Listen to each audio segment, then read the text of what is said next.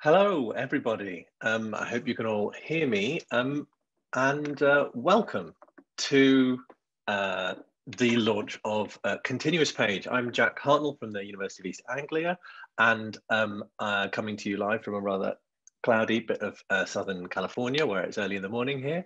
Um, it's fantastic to see uh, so many of you gathering and uh, yes, welcome. I wanted to say a very quick thank you to uh, the Courtauld Research Forum, to Alex Bovey and to Fern Inch for hosting this event. Um, and fantastic to see so many of you here, um, getting up to 120 odd people. Um, uh, great to see some of our authors of the volume also starting to trickle in. It's really lovely to see at least your um, digital presence.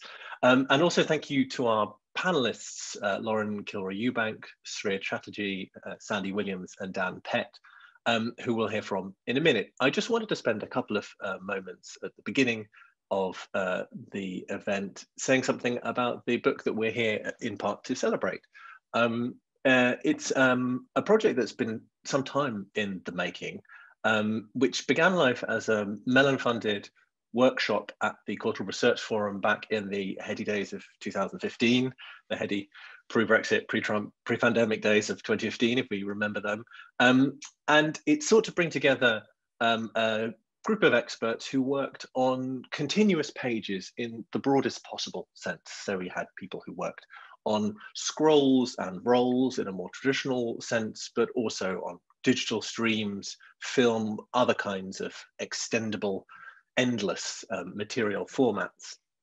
And as our conversations continued over the course of a few workshops at the British Museum, at the Victoria Albert Museum, in the Parliamentary Archives as well, it became clear to us that I think some sort of publication would be of interest to what was, at least to many of us, a surprisingly large community of people who were interested in themes of continuity, endlessness, and the page in um, a broad sense.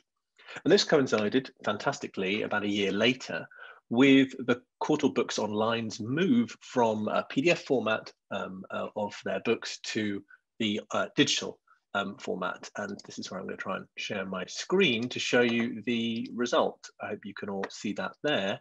Um, this is uh, Courtauld Books Online, and this is our volume. Continuous page scrolls and scrolling from papyrus to hypertext.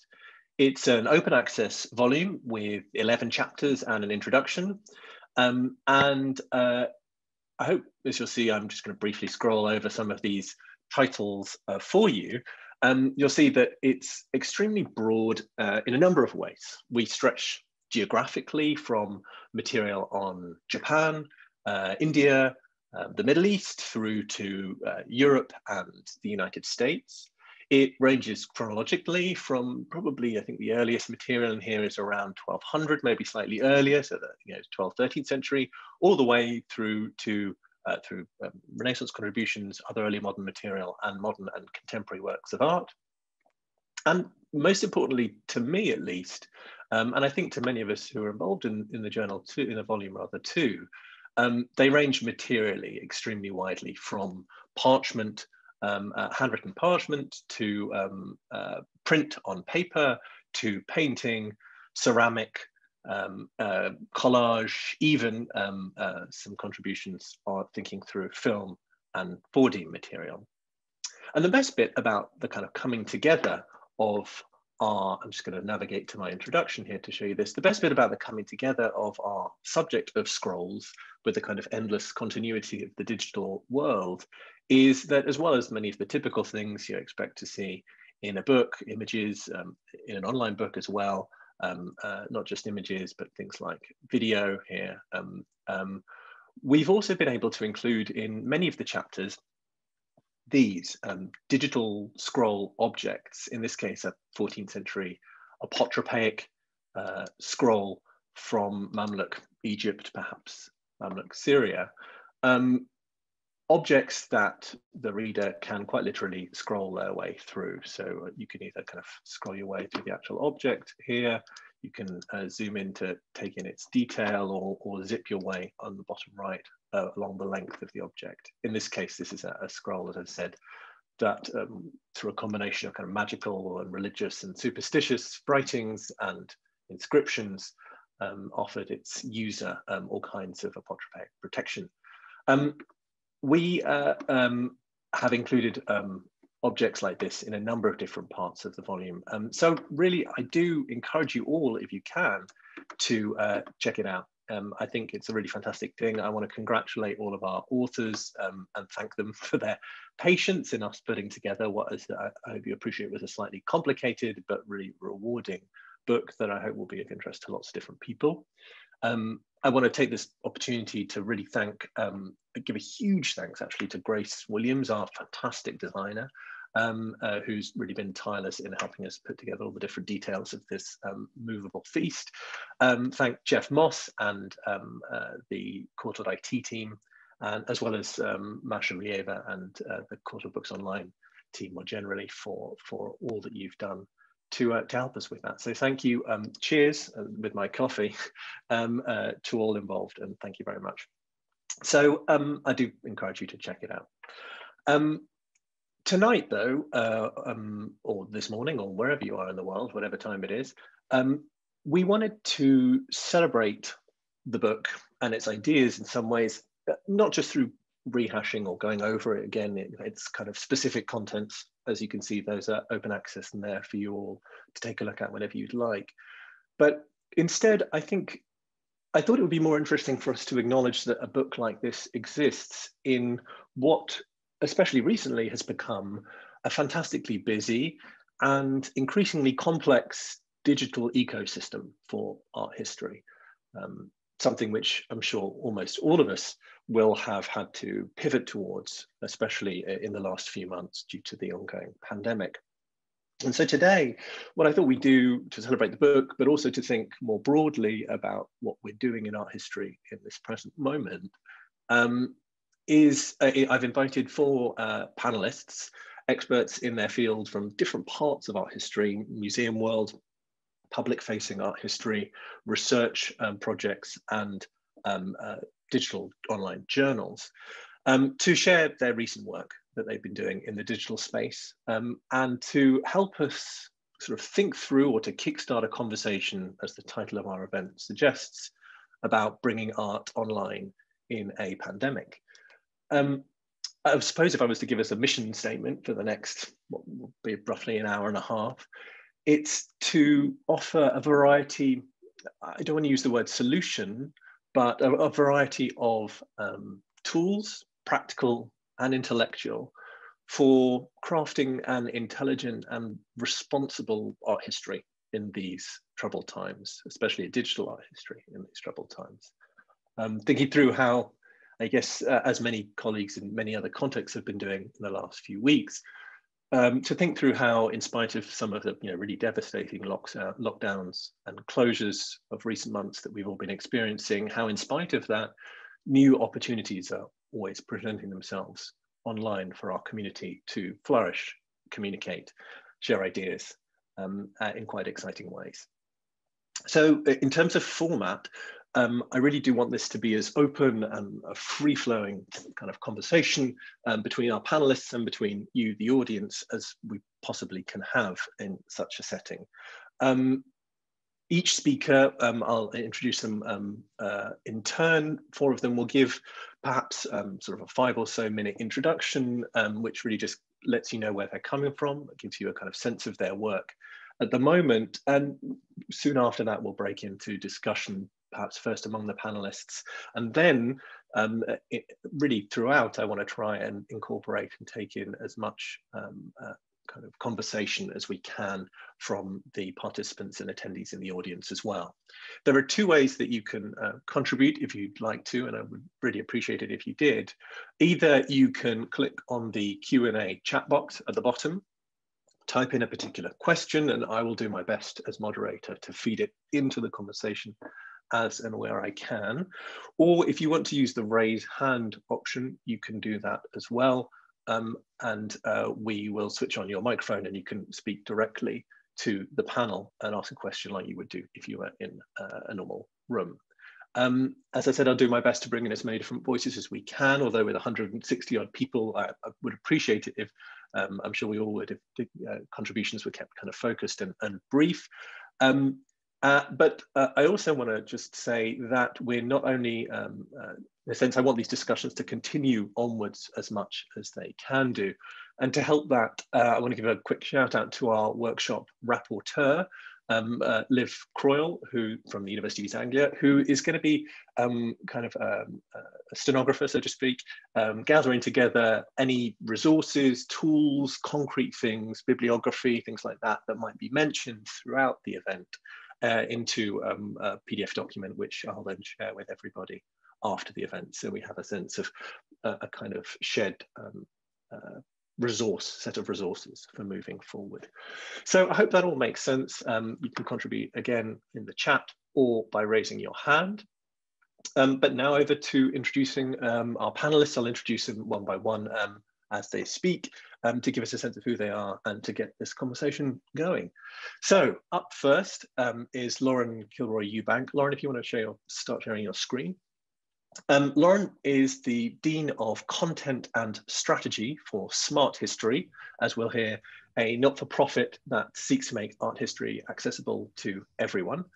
Um, previously, she was a tenured associate professor at Pepperdine University, just down the road from uh, me here in California, and assistant professor at CUNY, where her um, research and teaching focused then, as it still does, on many things, um, including the global renaissance and in particular, um, viceregal and uh, modern Latin America.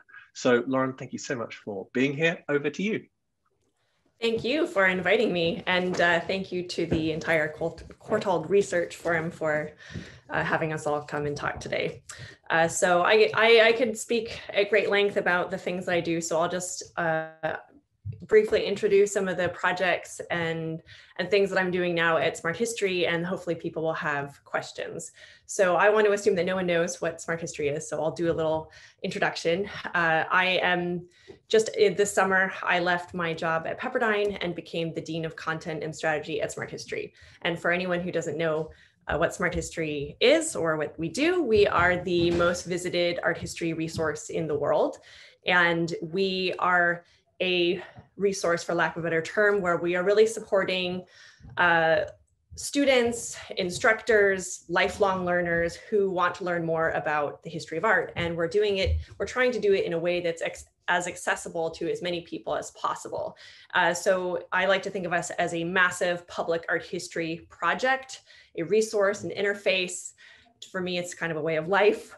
Um, and it's all free. Uh, we don't have advertisements. Uh, we rely on donations and the support from many different foundations and grants. Um, what we do at Smart History that is to some degree, I think, radical in terms of the field of art history is that we are uniquely collaborative in a lot of ways. And to give you a sense of what I mean by that, we have more than 400 people that we've collaborated with at Smart History, the majority of whom have PhDs, and they come from many different uh, realms, whether that's you know uh, professors working in academia, whether that's the museum world, and kind of everything in between. And what we're trying to do, like I said, is to make art history as accessible uh, and engaging to as many people as possible. And obviously, since it is online, it does mean that you have to have access to the internet, and we can talk about accessibility things a bit more uh, later.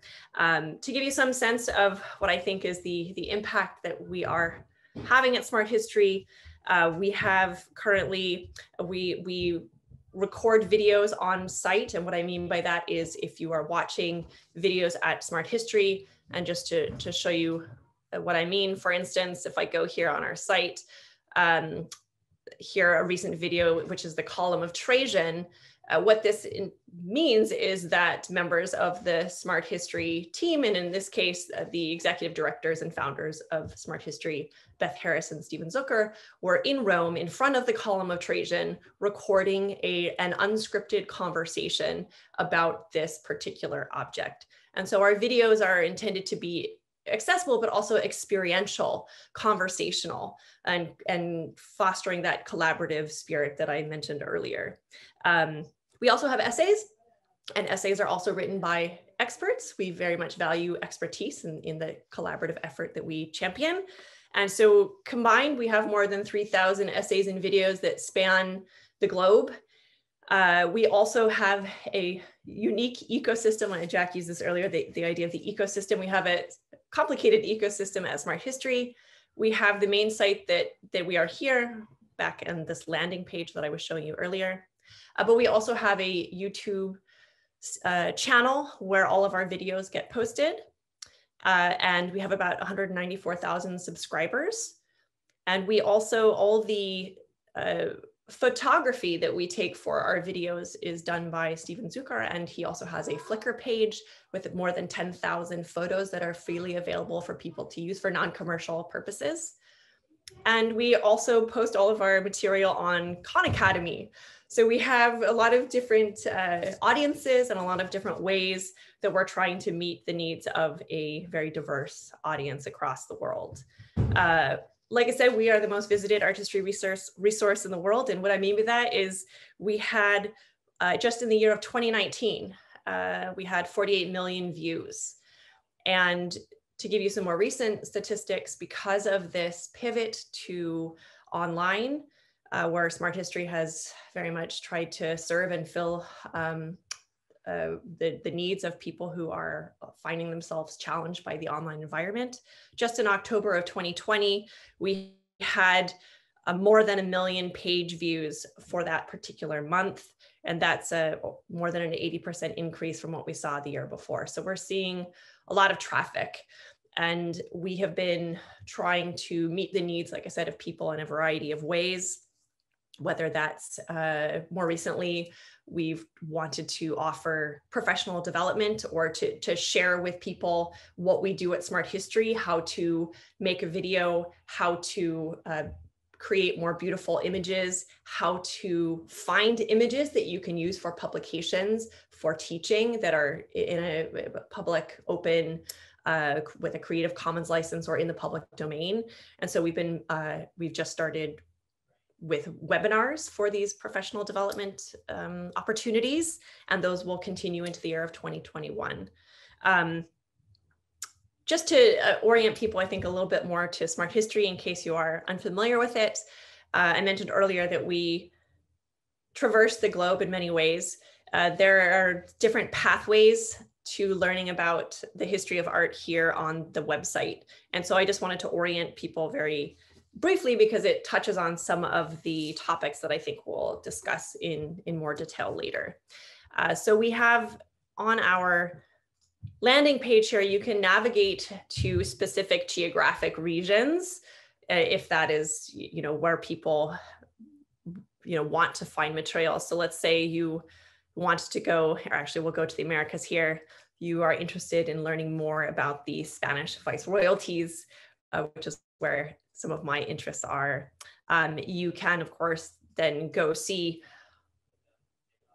all the content here and you can find videos and you can find essays uh, that can can be incorporated into classroom, into studying for exams, uh, into helping people uh, who need all of a sudden to, to learn about material for their own teaching purposes. And so you can find um, a variety of material. Uh, what we try to do at Smart History is for every video, we also usually have an essay and they overlap in different ways so that you, people, um, learners who are coming to the site have different pathways to understanding this material. And that is really important to us that, that we don't uh, provide a single unique way or one singular way of talking about something.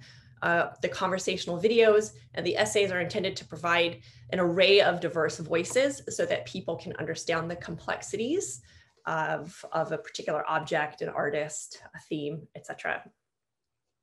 Uh, we also have a number of different types of pathways for people to engage with material, whether that's how we've collected it or curated it, uh, a term that gets used a lot these days, so that people can find this material differently or see it in connections differently. And what I what I wanted to show people was, for instance, um, here in guided learning, we have some of these different types of pathways, whether that's uh, particular projects that we have engaged in over the past several years. And one of those, for instance, is, oops, is called Arches, which is the At-Risk Cultural Heritage Education Series. And so this was a uh, project funded by the NEH that was specifically to look at endangered cultural heritage. And so all of this content is in other sections of the site based on geography and time. But here it's collected and, and organized in such a way to provide certain thematic um, launching points for people to incorporate into their classes or to think about more specifically. And so we're, we're always very conscientious to think about how people might look for material or how they might step into that material on the website.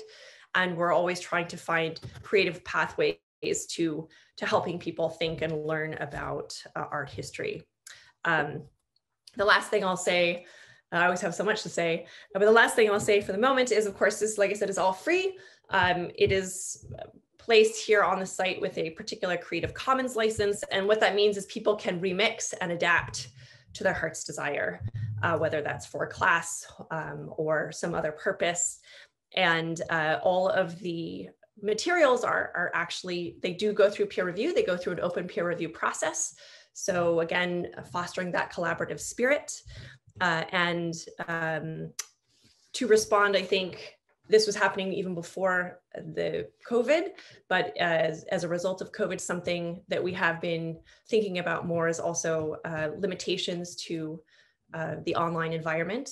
Um, even say for people who have less stable or no internet connection, and so we have, uh, for instance, um, books, free books, uh, where people can access particular, uh, all the content in a section, but it's available as a PDF, meaning they can download it if they so choose, they can print it out. Uh, but hoping that this also fills, say, a need in this time where, say, access to even the internet might be uh, challenging for some. So I'll stop there and hopefully there are more questions and conversation where we can expand. Thanks, uh, Lauren. Fascinating and amazing to hear. Just, I mean, uh, not only the kind of content of the work, but uh, some of the amazing numbers there. It's fantastic that um, art history is reaching so many people through some art history in this way. I'm sure we all agree. Um, uh, our second um, panelist, um, Sria, if you want to share your screen, is Sria Chatterjee, uh, who's a contributing editor at British Art Studies, uh, which I'm sure we'll hear more about in a minute, the open access peer-reviewed journal co-published by the Paul Mellon Centre um, in London and the Yale Centre for British Art in New Haven. Um, and following her PhD from Princeton University, uh, she's now a Swiss National Science Foundation Fellow at the Institute for Experimental Design in Media in Basel and a, which is collecting institutional affiliations, and a research fellow at the Max Planck uh, Kunsthistorisches Institute, um, where she's continuing what is a kind of broad and really interesting body of research on the relationships between art, design, and political ecology, with a focus in particular on South Asia and Australasia. Um, but it's perhaps with her editorial hat that we'll hear her speak at least at first. Um, so over to you, Sria. Thanks so much for being here with us. Hi, thanks. Thanks very much. Um, I just want to check. Uh, do you see my screen? Because something odd yes. is happening. Okay, great. Yes, I do. Um, just a second. I yeah, okay. Um, so uh, thanks very much for the introduction. And um, yeah, I'm going to uh, talk a little bit about British art studies. As Jack said, I'm a creating editor there. So British Art Studies is uh, really a fully um, online peer-reviewed uh, scholarly journal, uh, which publishes on all aspects of British art and architecture um, in really its most diverse uh, and international contexts. So um, I, just a second. Um, right. Uh, and so it's co-published by the Paul Mellon Centre in London and uh, the Yale Centre for British Art in New Haven. Uh, and it's uh, it's still really one of the few fully open access publications uh, in the field of art history and it's relatively new. Uh, started uh, around the same time that um, Jack mentioned um, that the book we're launching today started in 2015. Um, and, uh, and I'm also a relatively new member, having started earlier this year, pretty much alongside the pandemic. So, um, so everything's been quite virtual. Uh, one of the things that I want to do today is show you, really just run you through the website um, of British Art Studies um, and maybe talk about some of the practical ways in which uh, being a fully digital journal um, impacts the kind of scholarship uh, that is produced. So this here is the um, general website with all the issues and um, um, talking about some of the practical things that uh, are really helpful, have been really helpful for the journal. I'll um, show you this um, essay on the documentary photographer Bert Hardy. And the way that uh, incorporating and integrating film has been really helpful for, for the journal. So this uh, essay by Linda Nead and John Wyver um, on the photographer um, argued in a sense that uh, to understand um, Hardy's photographs, uh, documentary uh, images and sort of sound as well as the moving image is really important. So the authors created two films. Um, so you see the first film here. Um, I won't play it for you, but it runs for about 15 minutes. And so each, the, the two films in each film looks at one photo essay by, by Hardy. And then the rest of the um, essay is kind of providing historical context around Hardy's photographs and the two um, photo essays, but also really reflecting on the process of making these films and how that changed the way that the authors think about um, this kind of scholarship. Um, some other really handy tools uh, that I want to show you is, uh, yeah, this, this slider uh, function here, for example. So look, this allows us to very closely compared uh, kinds of images and is super useful for um, articles on conservation, restoration, and so on. So this, for what I'm showing you now, is a is an article on technical art history miniatures uh, specifically. So you can see the slider tool being used um, in, in different ways, but also um, things like close-up photographs such as this really allow for um, looking at the density of paint as well impact on the kind of argument you're making depending on the kind of article that you are writing um, as well. And another uh, very cool feature, I think, uh, is this 3D visualization. So this is a, a, a, pilgrim badge, it's a medieval pilgrim badge from the British Museum. And uh, this 3D visualization allows you to, to move it around, uh, zoom in, and, and do things that it is almost as close to having an object in your hand. And I think this kind of um, access um, allows for art historical and art theoretical arguments to proceed in a way that having just a, a flat 2D picture doesn't always allow you to, to do. Um, we also try to embed um, little snippets uh, rather than just describing processes, uh, but uh, little videos that allow you to talk about process. This, what you see here, is metal casting um, of a medieval pilgrim badge that I showed you earlier. So, so yeah, so these are some of the handy tools um, that are used. In addition to all of this, um, something that the fully digital format allows for is that in addition to having, you know, the 10,000 word peer-reviewed scholarly essay, um, an article, you, you can also have various features that play around a little bit. They're all peer reviewed. Well, the features um, allow you to play around with format a little bit. So I'll show you my favorite one, which is the cover collaboration. This is not actually uh, peer reviewed, but this uh, allows for collaboration, curators, artists, and provide a platform for um, presenting different kinds of uh, artworks. And so if you, um, so essentially every issue has more than one cover, a couple of covers from a particular series of artworks. And so every time you open the journal, you, every issue will have a different, will come up and cover. Randomly assigned. But this, the, and the, the covers come from a cover collaboration, which is a feature, uh, I'll show you an example. So this, this is a cover collaboration, um, which by Annie Jill Kwan. Um, and so here you'll have a series of images and uh, on a particular theme, but it also allows the, the person who initiates the project to, to write about it and talk about it and creates in a sense uh, a sort of archive for uh, a lot of artists as well as curators and so on. So um, I can't show you this yet because it's coming up in the next issue, but one of the things that I'm really excited about, we've just finished uh, working on cover collaborations for the next issue. Um, and it coincides with um, a series that the Paul Mellon Center is still running on British arts and uh, uh, natural forces.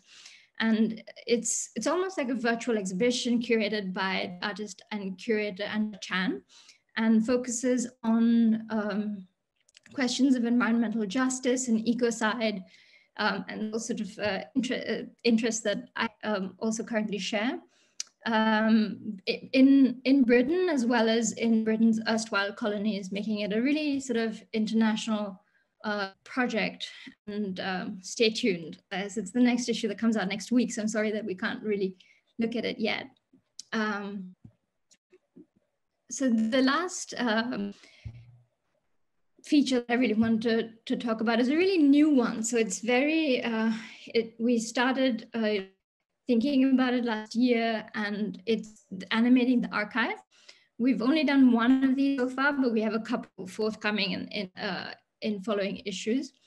So this is something that really allows for, um, it's a peer feature and uh, it, it allows for archival material and research um, to be presented in, in a non sort of linear long form format. But uh, what happens is that you, you have um, you have where you can scroll through and look through things. This is one by Stephen um, and it allows the viewer or the reader make their own narrative. So it, hopefully it presents a way of reading and uh, doing things that uh, sort of single line format doesn't always allow you to do. So these are just a few things that um, that the journal has been experimenting with and doing. And I'd really like to talk more about, um, you know, sort of future digital uh, the future digital publishing, as well as projects that we have in the pipeline, question access, audience, and so on. And I hope we can do that in uh, in discussions. Um, so I'll stop there because I, I, don't want to take up too much time. Um, thank you. Thank you, Sria. It's fascinating to see all of the different kinds of uh, uh, kind of routes, as you said, for uh, kind of presenting material through. It's really exciting to see that coming to fruition and slightly um, shaming that you guys are now in your 17th issue and the time it's taken us to produce uh, one book but that says more i think about academia than it does about us. At least i'm deciding that's what the case is. Um, fantastic. Thank you so much.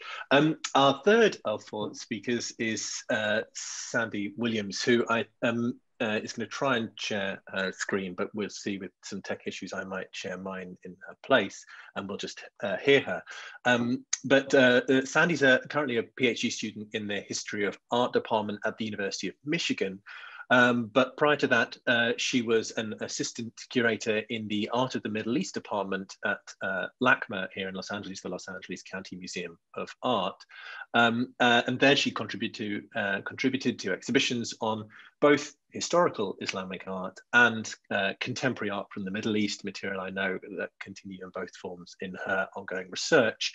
Um, but she's here as well in her capacity as a founding member and the managing director of uh, Khamseen Islamic Art History Online, a project which I think we're going to hear more about. Ah, and I see you and I see your screen. Fantastic. So over to you, Sandy. Thanks so much for being here. I am going to turn off my video just in case it'll help with my video, my internet great. streaming, which is misbehaving we, today. We know you're here. We, we see. We, great. Uh, hopefully you can hear me. Um, I'm cut off the video feed now, which is hopefully going to improve the quality of this. But um, thank you, Jack, so much for inviting me to be part of this panel. I'm really excited to learn about the ways in which people are using digital resources to spread art history around the world. And um, so, as you mentioned, yes, I'm the managing director of Khamseen Islamic Art History Online. It is a open access and free platform of digital resources for educators to teach about the field of Islamic art history and visual culture more broadly. And here I'll just show you, this is the home page and a few of the presentations, but I'll take you to the main presentations page so we can really see more of what we have to offer. Um, the current iteration of Khamseen offers 28 short form video presentations ranging in topics from the early Islamic period all the way up to the contemporary moment. So here you can see we have a presentation on Byzantine and early Islamic textiles. And then all the way down here, these are not in chronological order. This was just one of the earlier videos we received um, we have a video on George Floyd and depictions of George Floyd in street art in Iran, Syria, and Afghanistan. So we're really covering um, right up to the present moment, which is exciting and something that is unique to having a digital platform rather than working with a publication, which, as Jack had mentioned, takes a lot longer. Um, and so our idea for this project was really to make Islamic art history more accessible um, to a broader range of people and uh, also to open up the canon of art history, of Islamic art history.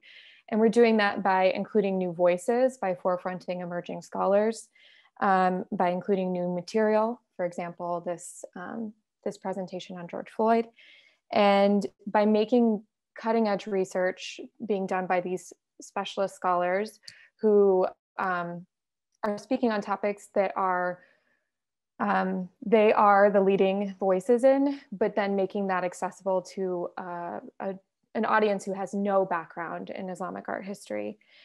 Doing that, but also making this free so that people can learn about what is happening in the field of Islamic art history, the cutting edge research, without having to pay a conference fee or a journal fee. They can just come here and learn about where the field is going, really. Um, and the next thing I wanted to show is just one way in which we're doing that is through this living survey document in which we present all of um, all of our presentations in a single document. And it's very traditional in the sense that it's in a chronological and dynastic breakdown. And um, everything we have right now is organized in this document, but the idea is to make this, um, it'll continue to grow. So we kind of pull, pulled back the curtain a bit and you can see where we have gaps. Um, but also the idea is um, to allow scholars and educators to come in and think about creative connections they can make between different topics in Islamic art history. So to give them a platform that is organized in a traditional way, but that can be mixed and matched into creative connections that would convey um, some component of Islamic art history that we might not be able to anticipate. Um, and just to tie up, I timed myself very uh, precisely so that I would be five minutes. Um, but just to tie up, um, I just wanted to show the team that has been leading this project to its fruition and give a little bit of the history of Khamseen, which is actually quite short. Um, because um, we've been in existence basically since the beginning of the year. And uh, we started as a conversation in the history of art department at the beginning of the year, pandemic, um, talking about how we could make Islamic art history more accessible, leveraging digital resources. Um, the pandemic happened and we scattered to our various places and once we had a chance to regroup we really we came back to the conversation and realized that now was our moment and there was a real sense of urgency behind making this project happen so we organized um, so starting in may we organized our team of six we started working with uh, scholars to create the presentations we secured funding from um, a very we're very lucky to have on campus an organization called the Digital Islamic Studies Curriculum, or DISC, which is supported by the Mellon Foundation. And so we secured funding through them. Um, and we built our website and launched our website on October 20th. So we have really created something in five months, essentially. Everything you're seeing here is the result of five months worth of work, um, but an, an, intense amount of work. And I have to say thank you to Biter Essener, who's here um, in the audience. She created this beautiful website. Um, and just, you know, this is a labor of love, and we're happy to have this continue to exist and grow. We have some really, um, even though we have a short history, we are looking forward to a long future, and we have really great ideas for where to go next. For example, an interactive and multilingual glossary and um, our ultimate goal at the end is to create a MOOC or a massive open online course using the presentations that we're creating and gathering.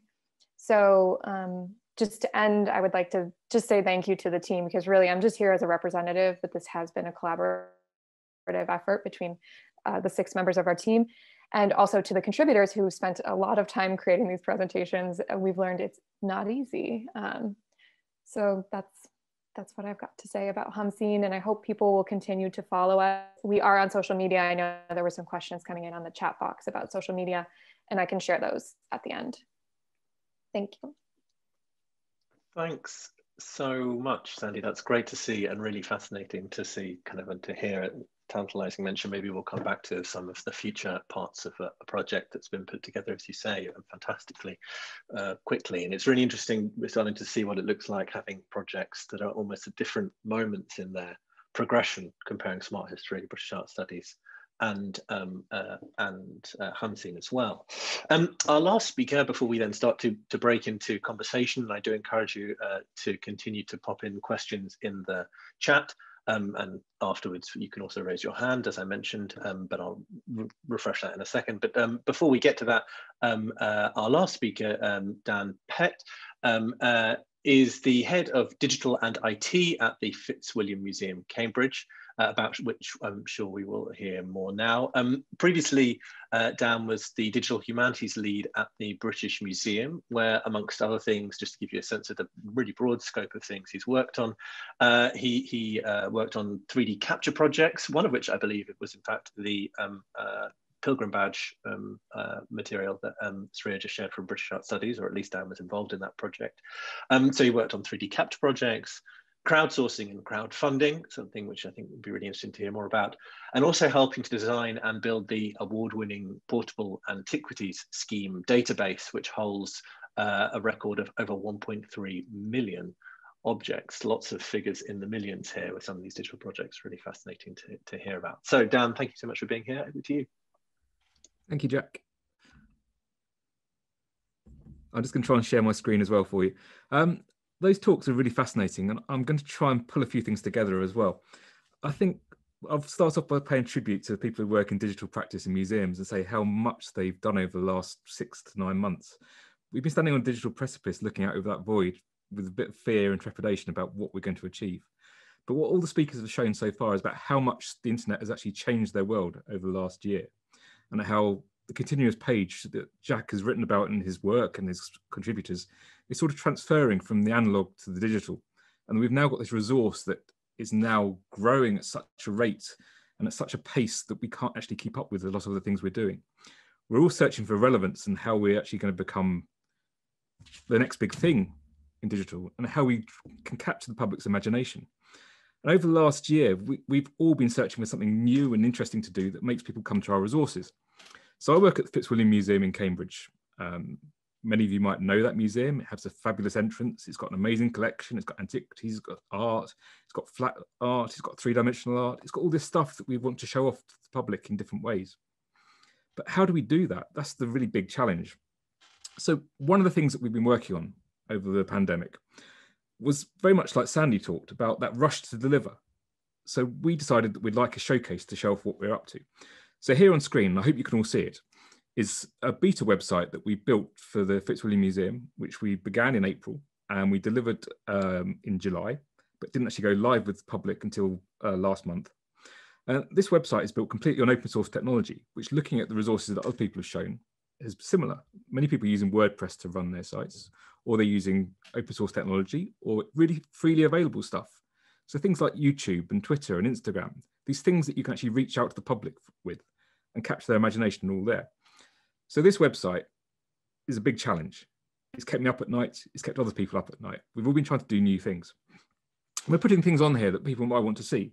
So you can't visit a museum at the moment generally. So what can you do to make that accessible to people? there's things like 360 degree tours. So if I scroll down this web page, on the very front page, we've got access to have a look around the museum. So we have different scenes as you walk around the museum in different places, which you can zoom in, you can see the objects, but you can't actually get that much information from here. But technology is starting to allow us to do new things with that.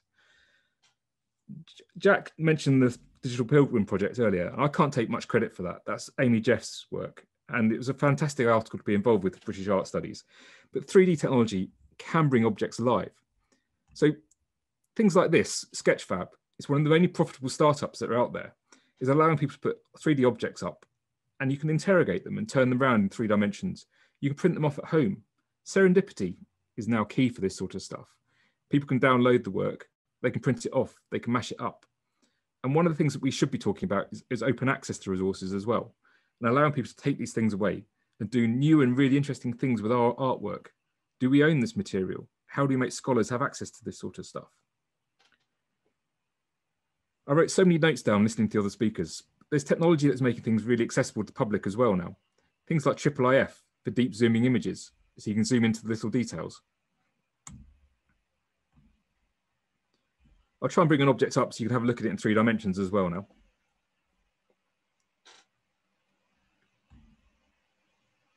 So hopefully you can all see this. This is a famous statue in the entrance to the Fitzwilliam Museum. This was scanned in about three minutes just before the pandemic using an Artec scanner. It was put online the same day. People can download this. They could take it home. They could mix it up and put it, something out there with it.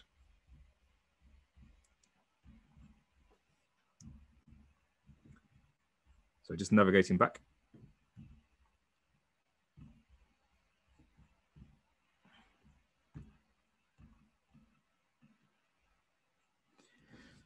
So there's many challenges out there at the moment for all of us. We've talked about collaborative work as well. Lauren talked about 400 PhD people collaborating to make their resource. We're trying to collaborate with the public for the Fitzwilliam Museum resource.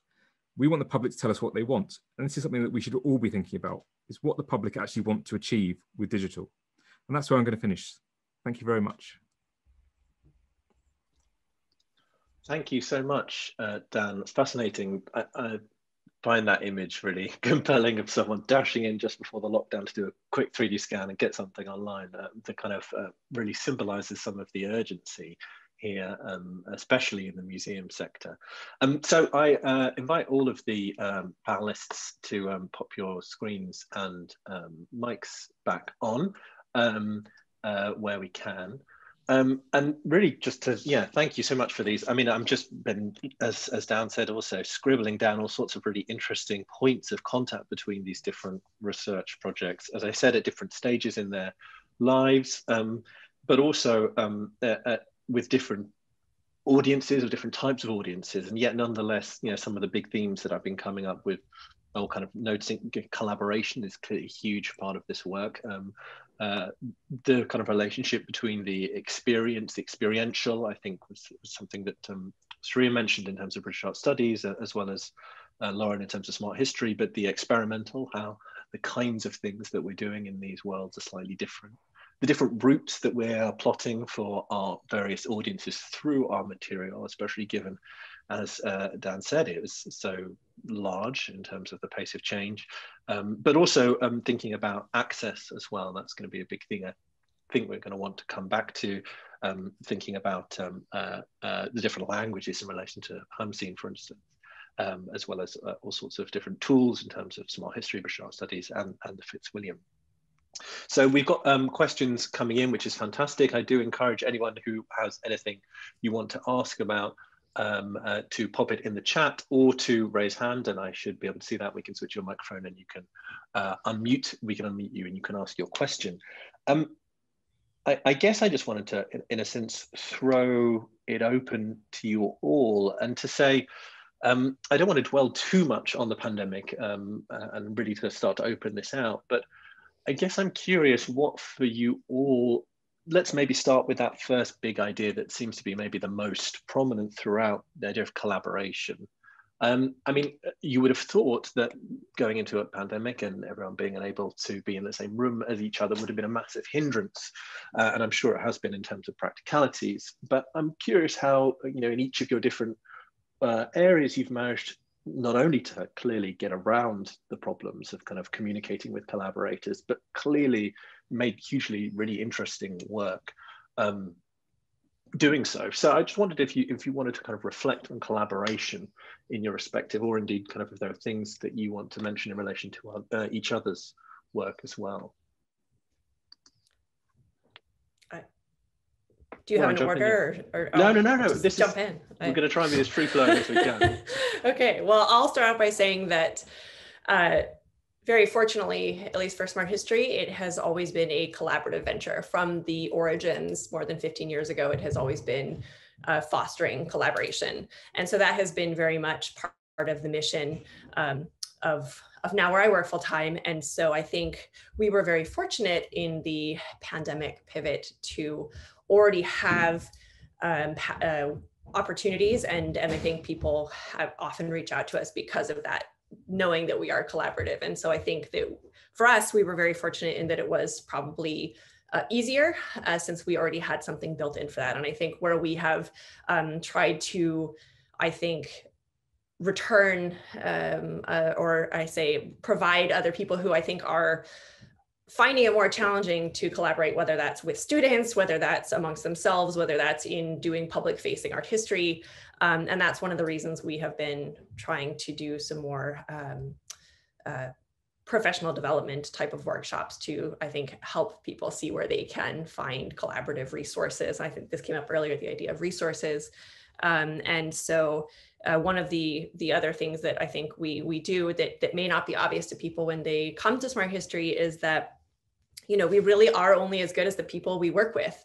Uh, you know, I'm not going to go and write about South Asian materials from the 16th century because I that is not my area of expertise. So we really rely on people reaching out to us. We occasionally reach out to other people as well, um, but we you know we don't force people to write for us. You know it's whether they believe in the mission of making things freely available um, when that is seems responsible to do that. And so we really do um, you know, work with other people. You know, we provide a lot of um, editorial guidance. We have our open peer re review process. And so we are really collaborative from the get-go, from the reaching out point until it gets published online and such things. So, um, you know, and I'm, I'm happy to talk more about what the, the nitty gritty of that looks like, but uh, I'll, I'll stop there for now. I'm curious to hear Thanks. from others. Sria, yeah. Yeah, I, I also wanted to say that in a sense, um, the whole kind of peer review process and publishing in an academic journal isn't very collaborative if you think about it. And I think one of the things that I really enjoyed um, while working with British Art Studies is the fact that there's so much room for collaboration. And I think being on uh, being fully digital definitely uh, plays a big role in that. Uh, and um, and the fact that the the production team is fantastic, and we're also very lucky to be very well funded um, by the two institutions um, that support us. So um, but for example, one of the things that you can do is, is of course, send in uh, a, a, manuscript, um, but also pitch us an idea and say, this is the kind of material that I'm going to be working with. What kind of tools can you build um, to, um, to sort of help showcase this material in a way that can't be showcased in, in another um, academic journal? Um, and, and, also things like, I think this is quite interesting also for peer reviewers to get uh, material that are proposals really. Um, so proposals are peer reviewed, something like animating the archive uh, would be, we'd ask for uh, comments from referees and then uh, produce something and then send it back uh, to either the same or different referees. So there's kind of different processes, um, but it really allows editors to work with uh, the editorial team to work with um, with scholars who are writing, um, but um, and for the production team to get to um, build things that are used for other, um, you know, sort of articles and uh, features as well. So, so in that sense, I think it's been a really different experience, and I and I wonder how it's going to keep evolving as well. Hmm. Thanks, Sandy or Dan. Do you want to come in on that? Otherwise, they're saying, um, sorry, jump in. Yeah, I would love to if is my video yeah, and audio working at the same yes, time? Yes, we see you. Yes, we see you and hear you. Great. Okay. um, collaboration, I feel like, has become, uh, for us at least, it's taken the forefront in a way that perhaps we had thought about these things in the past, but hadn't driven towards them as furiously as we are now. So we've had a great chance to work with uh, bringing together different scholars in the field. And also one of the things that I'm most excited about is um, gaining access to collections and having curators give um, talks with the objects from their collection. So for example, um, Elizabeth Williams at the uh, Dumbarton Oaks uh, created a presentation showing us two Byzantine textiles from their collection. So collaboration has been key to making our project happen. And again, I think it's something that took on a lot more um, of an impetus uh, with the pandemic. And that that is a really I watched that video and it's really fantastic because you know she's literally sitting in the storeroom speaking to a camera, showing you the stuff, the kind of especially teaching experience that is um, so you know hugely um, appealing and kind of interesting for students when you can do it in real life and even without a pandemic, you know, you're relying on colleagues giving up their extremely precious time to do so. So it's to be able to bring different kinds of experience again into that space is, is really interesting. Um, uh, Dan, I see you're, you're busy um, uh, answering uh, questions away in the in the chat. Um, but I, I, there's a, um, a question that someone, uh, Nadine Zubair, um, uh, uh, asks, um, does the proliferation of online resources require a directory or some way to signpost and collate all the resources, a resource of resources, so to speak? And how do educators and researchers find out about all these rich resources? I think that comes back to what you were saying earlier, Dan, the kind of astronomical pace of change, the very nature of the digital as something that we, um, uh, you know, if we are using it to its full potential, it is bigger than any one person can ever manage. Um, and so how we manage uh, our, both our own expectations and interests there, but also find these collaborative routes. So I don't know if anyone in particular has a kind of comment on this idea of a directory. Yeah, Dan, jump in. Um, I was just saying, there's been quite a few efforts in the past to try and aggregate resources like that. So I, mm. I don't know how long people have been looking at digital space, but I've been working in museums since 2003 there have been various European Union projects that have been funded, like BRICS, which uh, was a gazetteer or directory of resources, and then there's things like Europeana, which do aggregate lots of cultural data. It, sort of depends what you want as well, really, in terms of registry or resource. Um, Classical World Studies does lots of stuff on this, trying to aggregate resources, so things like Pelagios. So there's opportunities for this. I, I think it's one of those things where you need to know exactly what people are after as well, and do your audience research first to find out what you're trying to generate. I mean, Google is perhaps still the biggest provider of cultural information with Wikipedia next. And I think if you're not making your resources open access, they're not getting out to the major audiences as well. And I think Lauren talked about that earlier. And uh, looking at other people's resources, they've all had a Creative Commons license. And at the moment, we're quite restrictive in Cambridge with our license. We don't allow derivatives. Well, that's useless for you as an art historian. You can't take a picture off and crop it and put it on your website. So that's another knock-on effect as well. So if we're open with what we're doing, people will discover us and reuse it. It's serendipity. That's the really big key to what we're doing. I mean, I don't want to be telling people how they should use a resource. And I don't want to reinforce that cultural divide as well. An Egyptian can't use images of our collection belong to their culture because we say you must pay to use them. That's just enforcing colonialism in many ways. Um, but I think going back to that thing about directory, it is achievable now. You, there are ways of doing it. Um, but does your audience want it? You could be building it for one person. That's Mm. Are there any in particular, other than Europeana, that you would kind of uh, point anyone interested to that you uh, think are, are, particularly useful? Um, I wouldn't say particularly useful because we all have different studies and, and specialties. Uh, I'd say watch this space a little bit for the UK because there's a project going on towards a national collection by the being funded by the AHRC, which is working about how to make that collection accessible in a, a major way. It, it is very much a UK focused thing, but the technology should be reusable by other places if it comes up. So things like IIIF and linked data and these sort of things bring those resources together. And if Lauren or Sria can use it or Sandy in the same way, so we all use the same technology, it makes it democratic. And it goes back to a question that you might pick up on a bit later about photogrammetry. So I'll stop talking and see if anyone else wants to jump in. Yeah, did anyone else want to comment on the on the um, kind of resource uh, directory kind of um, element? Yeah, Lauren.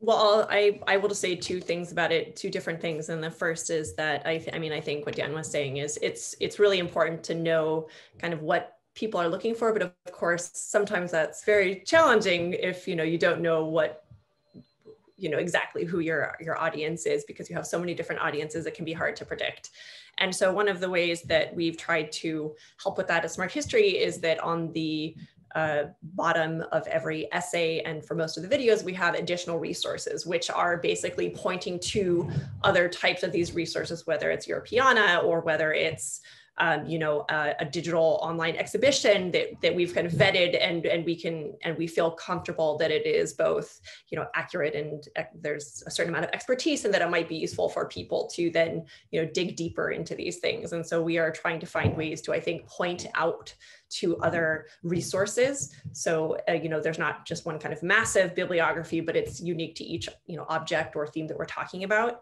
Um, the other thing I'll mention about that, and this is this is not specific to Smarthistory, is I think where a lot of this has been happening, it's almost a kind of grass, grassroots activism, and I've seen um, over over the past year, but even before that, where people have wanted some type of you know database where you can find all of these exciting digital projects in particular. And i think that has been accelerated in our current this current year. Um, and you know for instance at the association of latin american art uh, my own expertise is in Latin American art. And, uh, you know, we started a digital resources page on that um, for that group, which is basically people can write in and share different types of digital repositories, uh, public art history projects. And so we can kind of collect it specific to, uh, you know, Latin American um, art in its, you know, throughout time. And so I think what I've started seeing is a lot of different specific specializations doing more of that type of collecting versus some kind of massive like all of art history throughout time and place um, type of database if that's helpful for people.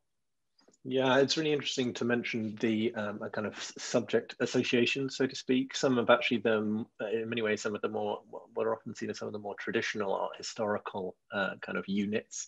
Um, but uh, you know, I would point to some of the really interesting work, for instance, being done by CAA in terms of their um, recent work on um, uh, accessibility and image use and fair use in particular for art historians yes. and artists. Um, you know, the, the, AAH I know is doing a lot of work, the Association for Art Historians in the UK is doing a lot of um, related work as well, as I'm sure are all, you know, individual subject institutions. It, it's interesting it's sort of to, to tie together what both you and Dan are saying. In a sense, it's where your interests lie. And so maybe in many ways, this comes back to just um, you know the speaking to people who have the same interests as you and uh, you know just in, make sure that we're all incorporating the digital into the kind of collaborative conversations that we have every day about other things anyway. Um Sria or Sandy did you want to jump in? Otherwise uh, there's a there's a there are a few kind of strands of questions that are kind of forming in the chat that I want to maybe um, point us towards. But I think a really interesting one raised by a couple of people here. Um, are about skills um, and about people starting out their careers respectively in art history, public art history, um, academic art history in the museum sector, who people who have asked, um, uh, in particular, uh, one question by someone called Amy, who uh, asks, what would the panel recommend in terms of gaining new skills for positions that may be available in response to these really wonderful new digital domains of the sector? Um, there's another question about early career scholars navigating their way through this. I wonder if there's any particular bits of advice, either from the world of museums, uh, research projects, um, public history, or, or, or journals um, that you would offer in particular to people who are starting out into or really thinking of how they can I guess that works for people across the entire spectrum of their career. I know plenty of people who are quite late in their career who are turning to this, but in particular, thinking about people who are trying to break into that world, so to speak, what would you have to say to them? Sria, I see you're nodding. Yeah, maybe just to say that um, one of the things um, at British Art Studies that we've been discussing quite a lot has been the fact that we we're lucky to have a lot of institutional backing and funding, and that allows us to do a, um, a lot of these kinds of publishing ventures. And um, the managing editor of the journal Baillie Card, especially, has been really um, thinking a lot about uh, providing resources as well as uh, publishing workshops, not just where to publish, but also how, how to publish on a budget and um, kind of what kind of skills and so on. And we hope to have um, a, a, separate uh, link to resources uh, once we've collated various things, um, sort of more technical resources uh, on the website. Um, one of the things, and I can put this in the chat, um, Quire is, um, which is made by the Getty, is a free and open platform for online art history publishing. So maybe this also can um, speak to some that Pika asked in the chat about uh, easy, um, expensive access uh, to, to, uh, to various kinds of things. But in this case, it's online publishing. I'll just put it in the chat. Thanks. Yeah. Uh, Lauren, did you, was that a? The, the was, sorry. I, I yes, uh, go for it. The netiquette, you know. Um, I, am just seeing a couple of folks writing about some of these issues, and I, have noticed a couple of others, Jennifer and Kristen, talking about early career uh, art historians, and especially as you know there are fewer jobs and or people are electing to leave academic positions, and and what kind of uh, opportunities or pathways are we potentially um, allowing or, or, how are we trying to help maybe emerging scholars? And so i thought I, i've been waiting for this moment. I was hoping someone would ask about this um, in part because this is something that's very important to not only myself but the rest of the team at Smarthistory. Um, we've all chosen somewhat alternative careers um, you know outside of you know we've all kind of left tenured positions to to do something that we really believe in uh, that will I think, broaden the field of art, of art history. And so to address some of those questions very specifically, um, we are very open to anyone who, who has expertise. You don't have to be a tenured professor to be collaborating with us. There are, you know, we, we recognize that um, that is not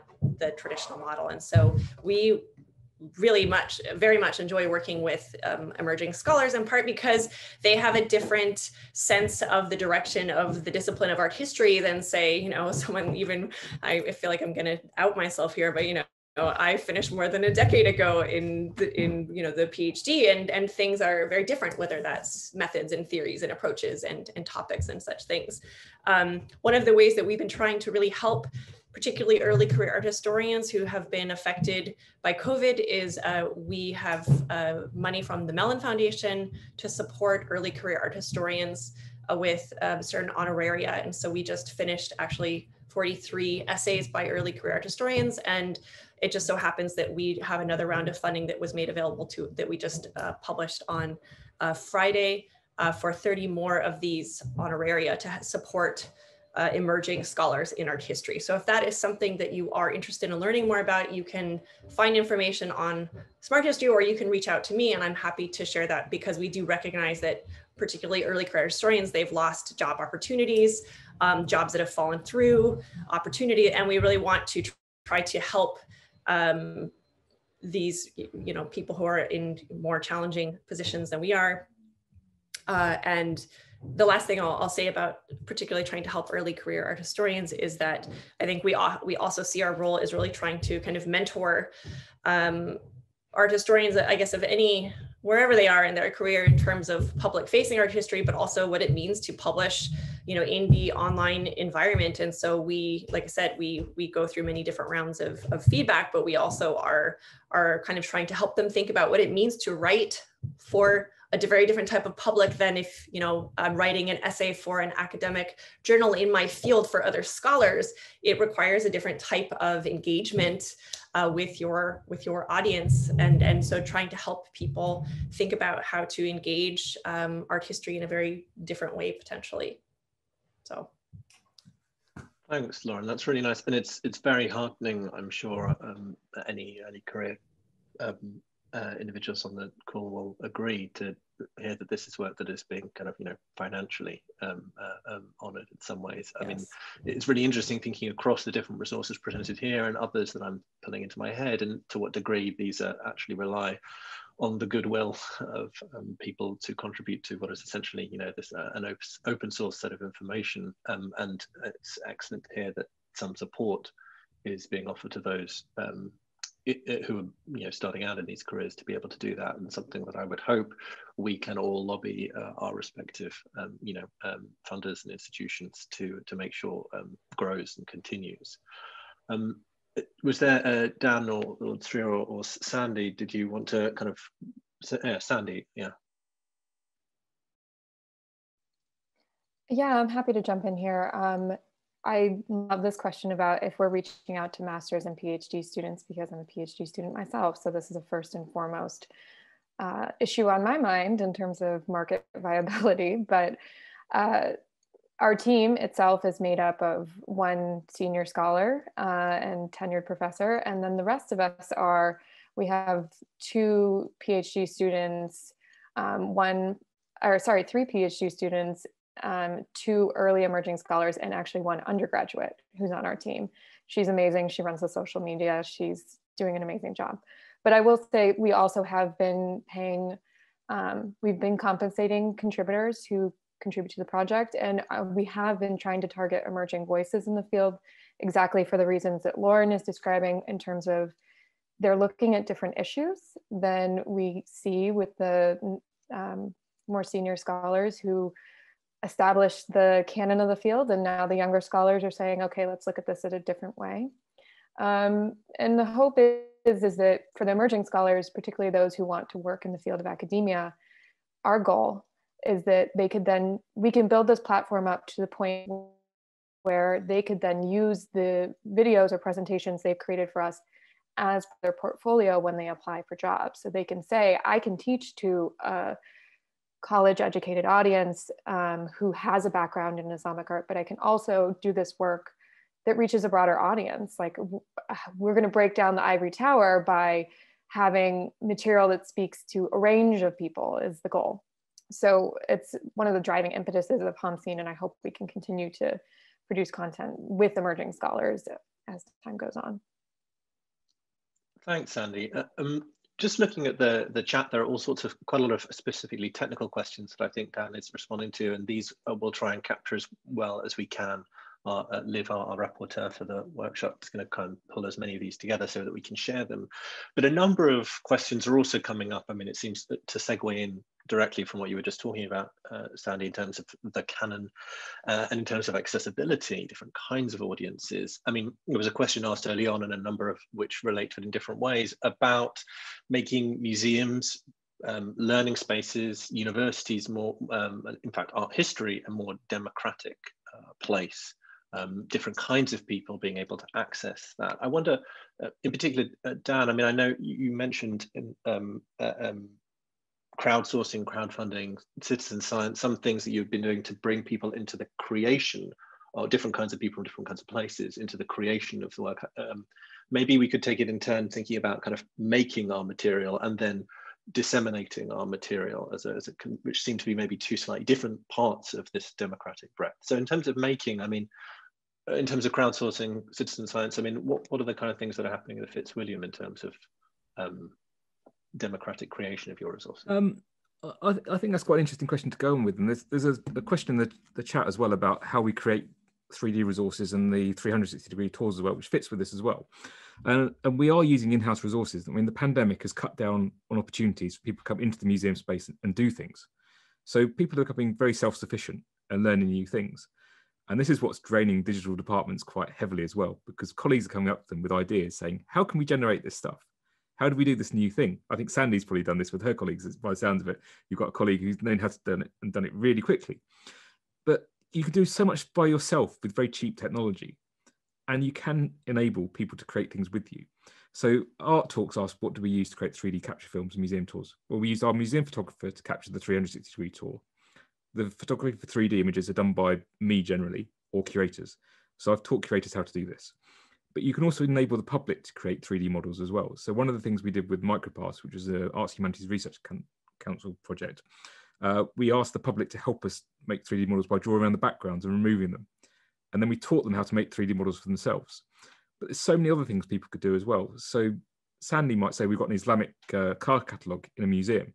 It needs transcribing. You could phot photograph those cards and put them up onto a platform like Zooniverse or Pybossa and ask the public to join in and, and, transcribe them.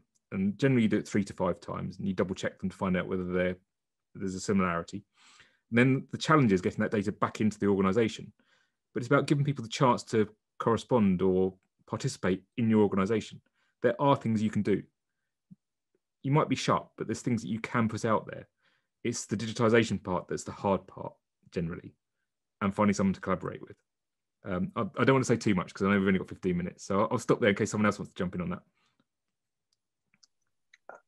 That's really interesting, and I, and I, it was something I would certainly for um, those in the audience who are colleagues teaching art history in universities, I would really just uh, absolutely champion the point that Dan just made about um, there being actually so much, so many very simple freely available resources that we can to you know create we're creating so much material for our students it would be really interesting to say you know are these things that will also connect with some of these other much you know uh, more perhaps much broader um, uh, public facing um, projects which we could then you know bring some of this material which is so pointed uh, to just a few people, but actually maybe it's something that could be hugely useful uh, in a broader sense um, for the public and also for other colleagues who are doing other kinds of teaching.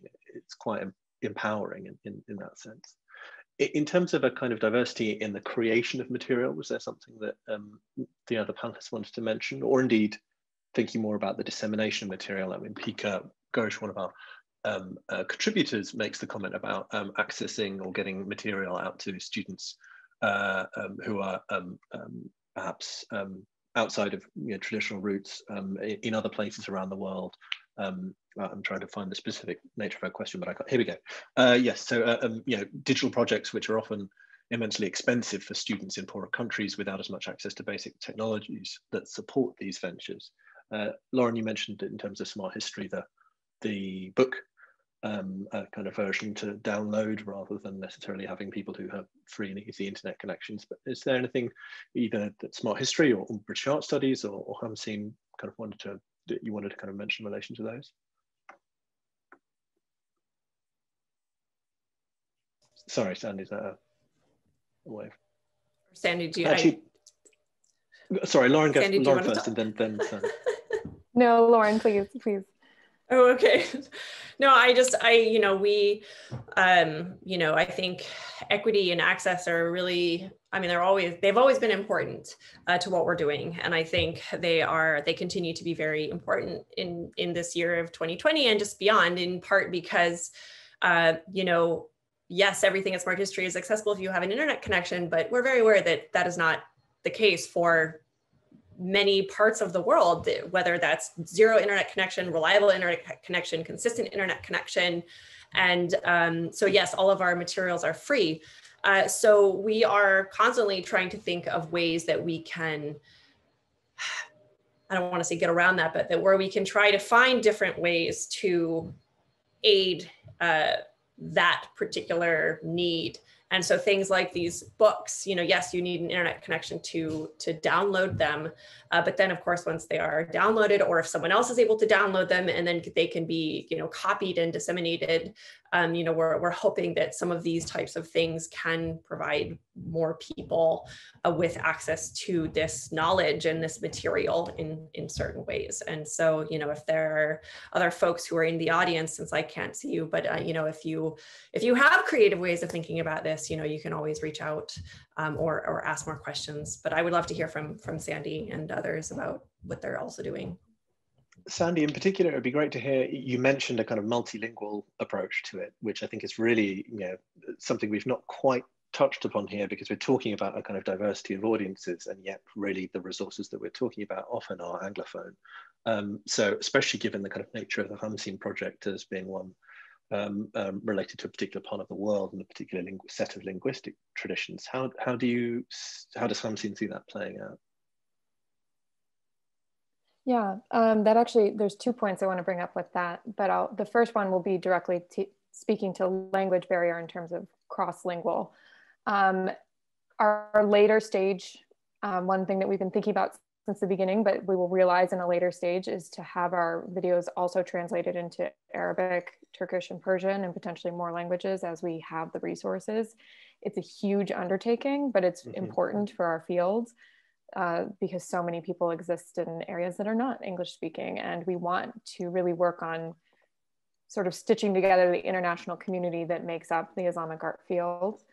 Um, another issue about accessibility that actually hits a little bit closer to where we are right now with our videos is the idea of um, captioning. We've learned some really interesting things from captioning, which is that um, with AI captioning, it's of course it's always going to muddle what is said. It doesn't always pick up um, words exactly um, as you hear them, particularly if anyone has an accent of any form.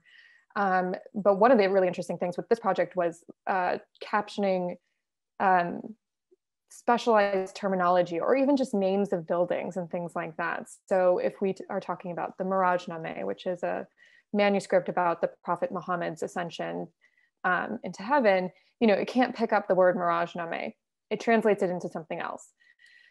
That showed us that actually, when we're teaching undergraduate students, they might not be hearing the terminology that we're saying, even in our classrooms. Taking out of like ignoring the digital realm, it showed us that when we use certain term, terms, what a student hears could be totally different from what we think we're, we are attending to say, essentially. So that was a really interesting learning experience and something that with the videos as they exist now, we're putting captioning on all of them, including the specialized terminology so that people will become familiar with that.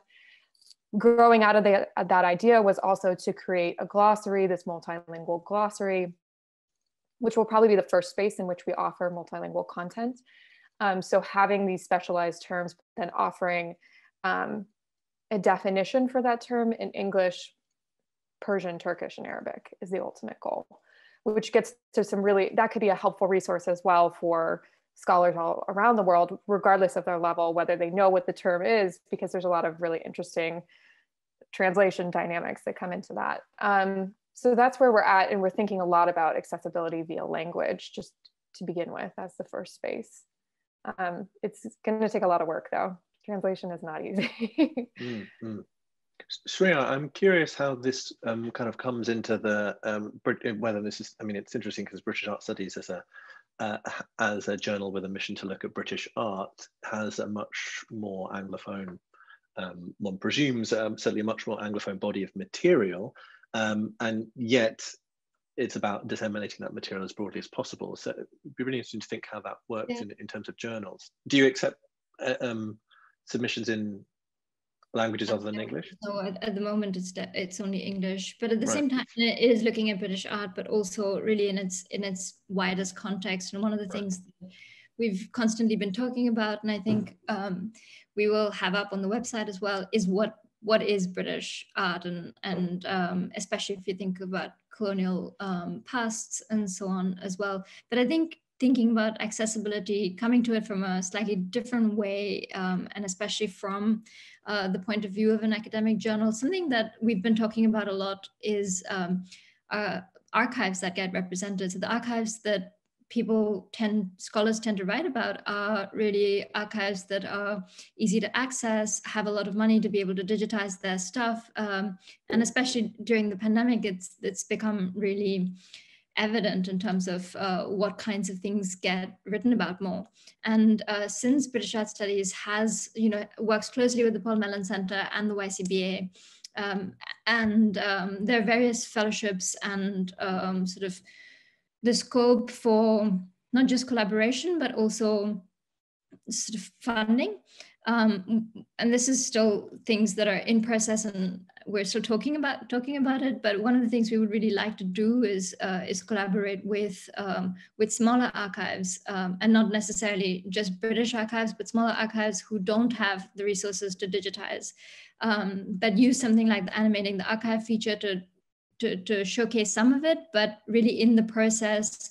Um, use the expertise expertise of the production team as well as funding uh, for other um, expertise needed to digitize these archives and and then you know um, sort of foster uh, scholarship in these areas. So the Paul Center also has smaller sort of uh, research funding and um, that could also be channeled towards uh, various things. So this is definitely something that has been so not just in Britain but also in the Caribbean, South Asia, and so on. Uh, uh, and I know in our because obviously as, as uh, someone who's now uh, theoretically based between you know Switzerland and um, uh, Italy, um, I'm curious how you, in terms of you know maybe your experience less as a as a kind of contributing editor, but more as a researcher. I mean, are there uh, um, what's your sense of how um, some of the resources that we've been talking about and the journals like like your own uh, are working or with or against the currents of things maybe happening in Europe? Is that something that is because I, I feel like I'm just even struggling off the top of my head beyond big institutional repositories to think of a material that I'm familiar with in my field that's happening in German, in Italian, in French. And I know that's there because I know the bibliography, you know, the people who are writing that material. And, uh, you know, it's a kind of multilingual world that I have access to through books and journal articles. But uh, in some ways, I feel like uh, less so in the digital space. Is that well? is that my bad for not being uh, as kind of well versed in what I know is this the breadth of the field in the digital realm in the way that I am in my research in a more traditional sense, or or is that? I'm curious what your sense of what's happening in Europe is as someone based there. Yeah, I think it's um, from whatever little that I um, know about this is that it's it's still very much of a developing field in a sense, and so um, like Daniel was saying as well, I think it depends a bit on your on your interests, and um, and there's isn't really kind of an overarching way to find things uh, yet, and I'm I'm also really curious about what sorts of uh, what collaboration and funding and so on will mean after Brexit uh, for for sort of uh, European collaboration as well. And I, I, like with everything else, we'll just have to wait and see what agreements are made. But um, I, I, think um, these are also kind of broader political concerns that would impact something like this. Um, but also at the Kunsthistorisches Institute, we have been talking quite a lot about making um, making resources available um, to sort of uh, non-European uh, contexts as well, and how how to do that as art historians and sort of working towards a democratic art history. So it's uh, so it's really a question that's um, that everyone's thinking about it, uh, at least in my circles. Um, I am looking at the time and uh, the comment from one um, audience member that it's hitting midnight in their time zone. So I'm afraid we're kind of getting towards the end. But I wonder if I could I could all just maybe pull together two uh, questions here um, uh, that are coming in that maybe just to ask each of you as a kind of your final thought.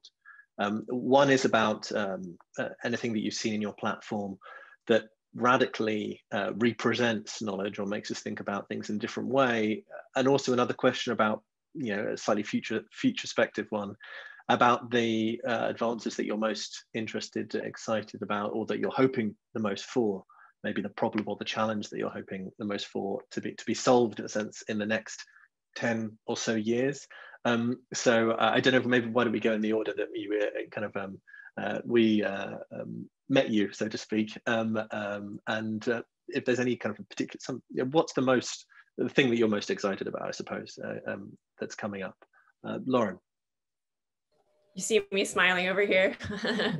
no, I, just want to say that I the the comment that was asking about um, how you know the the digital environment offers opportunity to challenge conventions is one that's very important to me, and it's one that has um, that I've been thinking about for more than a decade, even before I joined Smarthistory full time.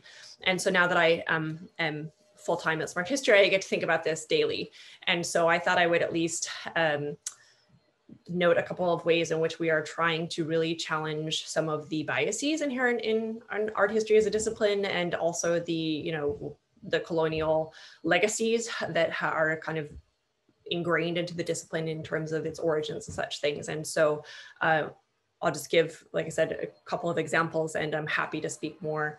Uh, one of them, for instance, is for the past year and a half, we have had an initiative called the Expanding the Renaissance Initiative. And this has been essentially to do this, to challenge how we think about and categorize and talk about what we consider to be the Renaissance. Uh, whether, and, and, you know, if you go and you read more about the project, you'll see that we've I have very conscientiously um, lowercase the Renaissance to kind of decenter and also to just immediately note that we are kind of destabilizing some of those categories. And it really is to not only challenge how we think about the Renaissance, where it was, who participated, who was forced to participate, um, you know, uh, unwillingly, uh, but also to even think about the different types of things get, that get excluded from this, uh, where we think about the Renaissance and how that's been, how we can kind of play with that. And so we are thinking about ways and, and the materials for that project are collected from a lot of different geographic locations. So if you go to just Italy, you know, you'll see that. But if you go to different parts, if you go to China, if you go to Mexico, if you go to uh, Peru, you're going to see different types of materials that are kind of collected under this initiative. Um, one of the other aspects of that initiative and some of the other ones that we're working on are also to think about who gets to do the writing about these things. And so we are really trying to work with scholars and amplify voices that have been um, marginalized, have been overlooked, have been set aside because they are kind of pushing up against the grain of what we consider to be this very canonical um, era of time. And so, you know, we are, like I said, daily trying to think about ways that we can really um, address some of those larger issues. And so, I, like I said, I'm happy if people want to talk more with me after this, you can find me at Smarthistory. Thanks, Lauren. Uh, why don't we go the order that we that we spoke to Sria, then Sandy, then Dan? The thing that you're most excited about um, coming up in the next ten or so years. Um, yeah, well, I think maybe just to speak in the in the very big picture, and this relates a lot to what um, Dan presented as well. I think one of the things that would be really interesting for um, an open access ac uh, academic journal is to look at the way that researchers use archives and what kind of archives, um, as I mentioned, and so on. But also as the uh, landscape changes, there's the research landscape changes that will also be reflected in the journal. So things like, um, so something I'm, I'm really curious about, Dan, is uh, how do you see, uh, in a sense, this kind of 3, 3D uh, um, kind of visualization and ways of putting things uh, online, um, changing the ways we think about repatriation issues and what museums should have and what they should give back and uh, sort of decentering kind of the universal museum questions as well. And I think that sort of thing would really also reflect, and this is not, not to put you on the spot and ask you uh, what you think about it, but I, I think more broadly, it's, uh, I, I think the digital has opened up spaces that will initiate a lot of theoretical discourse as well as uh, as well as that historical discourse that I find really exciting and democratizing. And uh, I'm looking forward to, to seeing where it goes. Thanks, Sria. Sandy. Oh, so many things. So many things to look forward to, including the end of the pandemic, hopefully. um, I really honestly coming out of this conversation, especially, I just feel very energized. And I know the other team members from Khamseen who are here probably do as well in terms of the fascinating questions people have been asking us because I push our project in new directions, um, opportunities for collaboration. Um, digital has, I'm admittedly not a very digital person. I don't, I never really actively engaged with it as much as I should uh, have. And now I see all the potential and I'm excited think about ways in which our platform and collaborating with other platforms can really connect scholars around the world in a way that perhaps uh, hasn't been achieved yet. So keeping the dialogue going and finding ways to work across boundaries as more boundaries seem to appear given to us by political entities, we can dismantle them ourselves in the digital realm. Thanks, Sandy. And Dan? Um, uh, just listening to everyone else there, I think democratizing of work is really coming up really across everyone's uh, comments as well. I think what I'd like to see over the next 10 years is a value for digital being placed on the scholarship as well, so that people get the, the worth of doing this work and it's not just sort of seen as a tack on. And I think we, we've got to see museum directors actually valuing digital for what it does for their organization as well and breaking down the boundaries of the organization. But we also got to think about the ethics of what we're doing as well. And some of the comments have been about whether we've got that sort of digital privilege of being able to produce this stuff and what duty we have for the other people around the world who don't have access to funding or the equipment? How do we enable them to be able to do the same things? Because otherwise, we've got that sort of ivory tower being built up of the people who can produce this stuff, and then the museum that can't. And if you go to these conferences, people will say museums should be able to do this. But my curator down the road, who's only got one member of staff, is sitting there going, I can't do this. In 10 years' time, hopefully they can because they've been empowered to learn this stuff and they can do it. But of course, they've got other things to do as well. So it's always going to be slightly unequal. But how do we get around that? And I think um, Sria's comments about the small archives and the Mellon and British um, art studies, that's really important It's about how we make sure we don't leave them behind. Well, I think that's an excellent place to to, to finish on with with no archive left behind, and I hope that really together what we've offered as a bit of a, a call to arms, so to speak, um, uh, not just to think about the, um, the, kind of ethical and theoretical dimensions of, of what uh, we've been talking about, but really to, you know, on a, in a practical level, um, I'm sure everyone here, whether you're connected as a, a user or a creator, in um, the museum world, the uh, academic world, the public history world has a huge amount of collective knowledge to give. And I hope it's really fascinating to see in the chat all sorts of information being shared with each other about people who seem energized in connecting, collaborating. Um, we'll try and gather together as much of that material as we can. Thank you so much for sharing all of the material in the chat. And um, uh, I really want to, to thank all of our um, for panelists for sharing their expertise so eloquently and engagingly. Thank you very much. It's been really inspiring. Um, and uh, also to thank our authors who are, I've seen uh, some contributing and some um, uh, watching.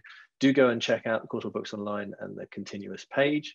Um, um, but otherwise, um, best of luck with your digital projects. And um, I really hope that we've been able to kickstart not just a conversation, but some tangible um, material uh, change in what you're all able to think about and to do to share with each other. So thank you very much. Thanks to the Courtauld for hosting us and um, bye.